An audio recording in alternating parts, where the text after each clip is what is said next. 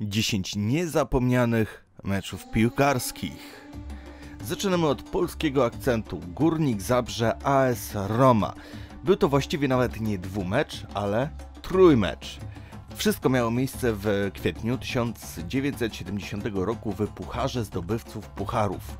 Otóż był to europejski puchar, w którym brali udział przedstawiciele państw, którzy zdobyli puchary w danym kraju. Górnik Zabrze rozpoczął swoją przygodę od Olimpiakosu, pokonując ich w jednej 16 finału. Następnie Górnik Zabrze wyeliminował szkockich Rangersów, a następnie bułgarski Lewski Spartak Sofia, który naprawdę swego czasu uchodził za bardzo mocną drużynę. Najpierw Górnik Zabrze przegrał 3-2, a następnie wygrał 2-1 i już ten mecz uchodzi za niezapomniany i przez wielu uważany jest za taki symbol polskiej piłki nożnej. Jednakże ja tutaj wspomnę o meczu półfinałowym Górnik Zabrze AS Roma. Pierwszy mecz odbył się w Rzymie. 1 kwietnia 1970 roku. Mecz zakończył się wynikiem 1-1. Gola dla Polaków zdobył Banaś. Drugi mecz miał miejsce 15 kwietnia 1970 roku w Zabrzu.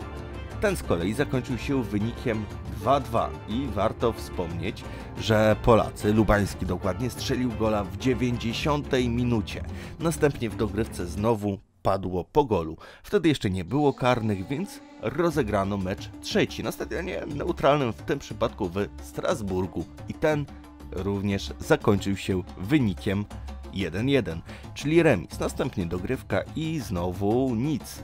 Co w takiej sytuacji? Otóż nie rzuty karne, bo ich wtedy jeszcze nie było. Losowanie monetą. Górnik Zabrze trafił do finału Europejskiego Pucharu po rzucie monetą. Tam niestety uległ 2 do 1 Manchesterowi City, jednakże do dziś jest to najlepszy wynik polskiego klubu w europejskich pucharach. Salvador Honduras w 1969 roku, dokładnie 15 czerwca. Był to mecz eliminacji do Mistrzostw Świata w piłce nożnej w 1970 roku.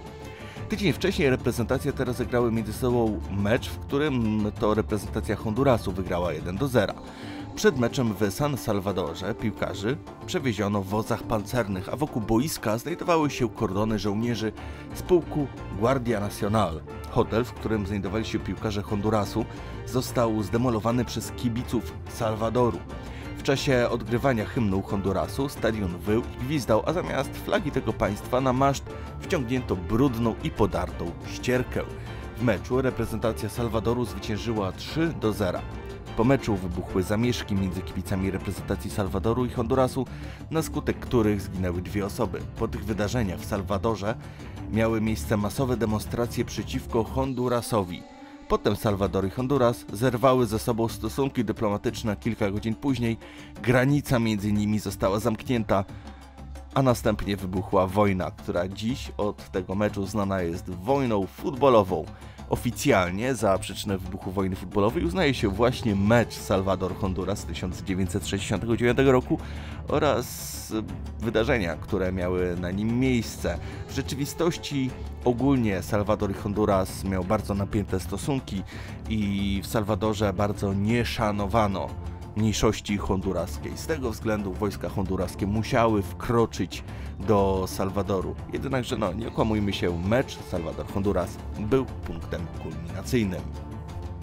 Niedziela cudów, czyli potoczne określenie wydarzeń mających miejsce podczas ostatniej kolejki polskiej najwyższej ligi w sezonie 9-2-9-3. Wtedy to była pierwsza liga, aktualnie jest to Ekstraklasa. W sezonie 9-2-9-3 o Mistrzostwo Kraju walczyła Legia Warszawa, ŁKS Łódź oraz Lech Poznań. Przed ostatnią kolejką w tabeli prowadziła Legia, przed ŁKS-em. Mając tyle samo punktów, jednakże bilans bramkowy lepszy o 3 gole, dawał mistrzostwo Legii. W ostatniej kolejce ŁKS grał z Olimpią Poznań, a Legia z Wisłą Kraków. Jak wyglądała sytuacja? Legia musiała wygrać, ŁKS musiał wysoko wygrać, a w przypadku ich remisu mistrzem zostawał Lech. Krótko mówiąc, końcówka marzenie. Mecz Legii ŁKS odbywał się w tym samym momencie. Proste. Pierwsza w swoim meczu prowadzenie objęła Legia. już w 8 minucie, w 21 minucie w meczu w Łodzi objął prowadzenie ŁKS. Za chwilę Legia podwyższyła 2-0, a kilka minut później ŁKS podwyższył. Drużyny strzelały gole tak naprawdę na zmianę. Za każdym razem, jak tylko w Warszawie ogłoszono, że ŁKS zaczął prowadzić, Legia strzelała gola. Kiedy ogłoszono w Łodzi, że Legia strzeliła gola, ŁKS zaczynał prowadzić. Mecze zakończyły się bardzo nietypowymi wynikami. Legia wygrała 6 do 0, ŁKS Łódź wygrał 7-1. UEFA wyeliminowała obydwa kluby z europejskich pucharów, a PZPN stwierdził, że cała Polska widziała, że mecze te były ustawione. Nie wiem, czy je oglądaliście, polecam, a naprawdę widać, że mecze te były ustawione i bramki są wręcz żałosne.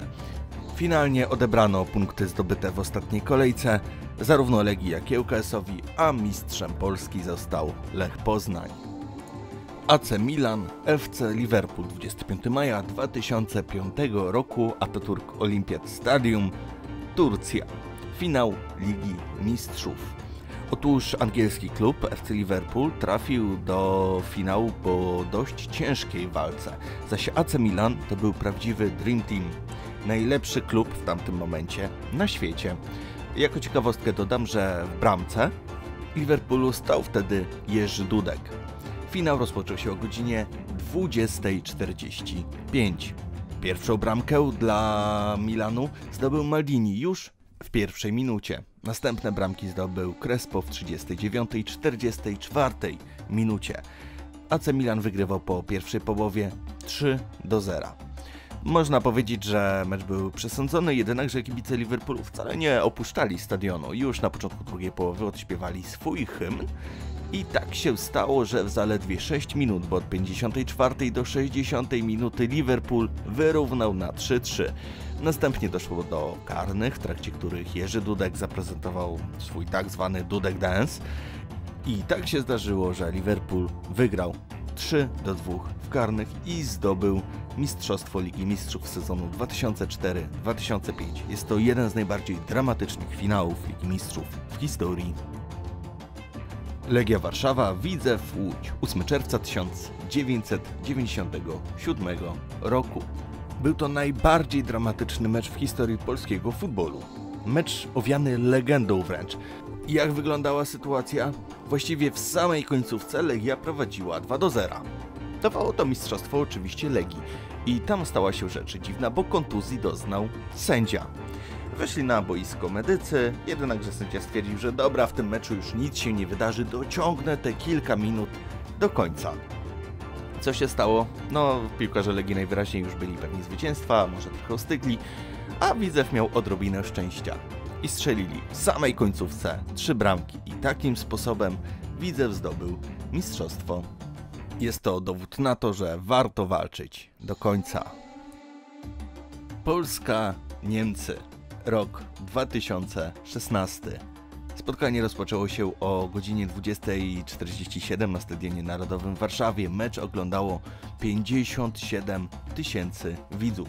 Obie drużyny grały dotychczas 18 razy i 12 razy Niemcy wygrywali, a 6 razy padał remis. Polacy nigdy nie pokonali Niemców. Tym razem skład reprezentacji Niemiec no nie był najsilniejszy. Po mundialu w Brazylii z gry w kadrze zrezygnowali m.in. Lam czy Mirosław Kloze. W kadrze Adama Nawałki z powodu kontuzji zabrakło Błaszczykowskiego i Benisza. Więc można powiedzieć, że Polacy również nie wystąpili w najsilniejszym składzie. Jak się jednak skończyło? Otóż Polacy wygrali 2-0. Było to pierwsze zwycięstwo reprezentacji Polski nad reprezentacją Niemiec w historii, a przy tym Polacy ukończyli eliminację do Mistrzostw Europy na pierwszym miejscu. Polska San Marino. Otóż mecz z San Marino miał poprawić notowania polskiej reprezentacji w oczach kibiców, lecz o najwyższym w historii zwycięstwie nikt nie myślał. Przed pierwszym gwizdkiem sympatycy futbolu nie wyrażali pretensji do piłkarzy czy trenera Leo Benhakera za przegraną w złym stylu w Belfaście z Irlandią Północną, a podobnie jak przy każdej okazji obrażali włodarzy PZPN. Jak się skończyło? Polacy zrehabilitowali się za przegraną z Irlandią Północną i w meczu z San Marino zaplikowali rywalom 10 bramek. Aż czterokrotnie na listę strzelców wpisywał się Eusebiusz Smolarek, a było to najwyższe zwycięstwo reprezentacji Polski w historii. Kolumbia, USA. Mistrzostwa Świata, rok 1994.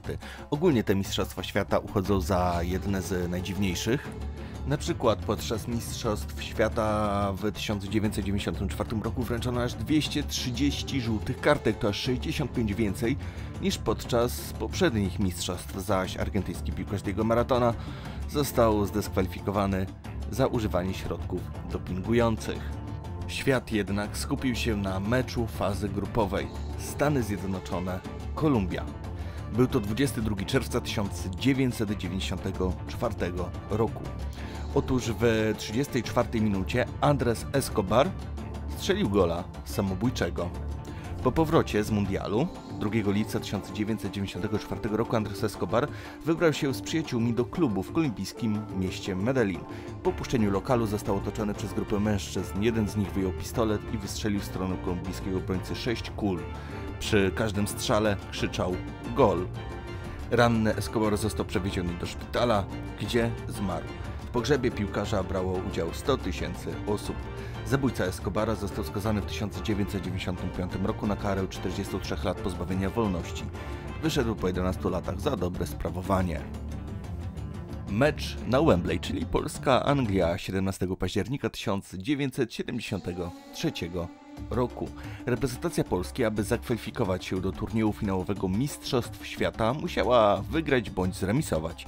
Przed meczem tabela wyglądała bowiem w sposób następujący. Polska miała 4 punkty, Anglia miała 3 punkty. W poprzednim spotkaniu tych drużyn, również rozegranym w ramach eliminacji do Mistrzostw Świata, reprezentacja Polski wygrała z reprezentacją Anglii na Stadionie Śląskim 2 do 0. Anglicy byli pewni zwycięstwa i traktowali Polaków jak amatorów. I tak na przykład Jan Tomaszewski został przez Briana Klauga określony klaunem, a przez prasę najgorszym bramkarzem grającym na Wembley. A podczas odgrywania polskiego hymnu kibice angielscy krzyczeli animals, czyli zwierzęta. Otóż w 57 minucie Grzegorz Lato stracił piłkę, ale za chwilę ją odzyskał i podał do Jana Domarskiego który strzelił gola pod brzuchem angielskiego bramkarza. Bramka ta do dziś uważana jest za najważniejszego gola w historii polskiego futbolu, a prestiżowy dziennik The Times umieścił ją na liście 50 najważniejszych bramek w historii piłki nożnej. Już 6 minut później doszło do rzutu karnego i Anglicy doprowadzili do remisu 1-1. Reprezentacja Anglii miała przygniatającą przewagę, zwłaszcza od momentu, gdy na boisko wszedł Kevin Hector. Jednak żadna drużyna nie potrafiła strzelić gola i mecz zakończył się wynikiem 1-1. Po meczu zwolniono trenera reprezentacji Anglii, a prasa angielska pisała o końcu świata.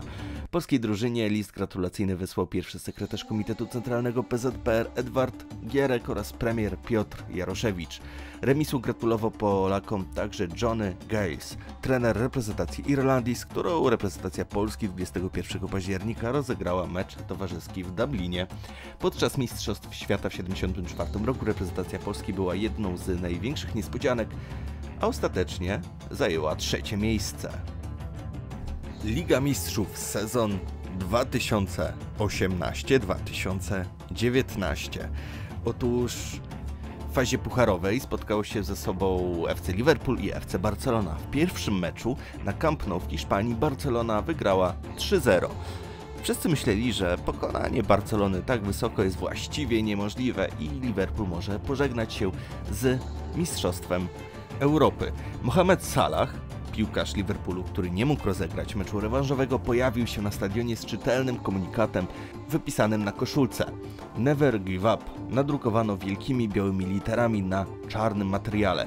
Kiedy schodząc na przerwę przegrywasz 0-3, nie warto wierzyć w cuda, trzeba wierzyć w siebie. Tak mówił Jerzy Dudek. You'll Never Walk Alone zaśpiewali kibice, prawie zagłuszając hymn Ligi Mistrzów i z tych wszystkich bodźców, rad, obietnic i próśb skorzystali piłkarze, którzy byli na murawie. Otóż Liverpool wygrał w pięknym stylu 4-0, w tym niejednokrotnie ośmieszając Barcelonę, awansował do finału i zdobył mistrzostwo.